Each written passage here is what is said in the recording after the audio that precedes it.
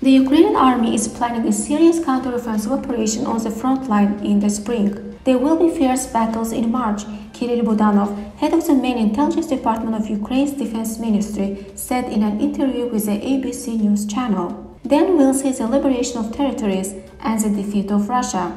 This will happen everywhere in Ukraine, from Crimea to Donbass, said the head of the main intelligence agency.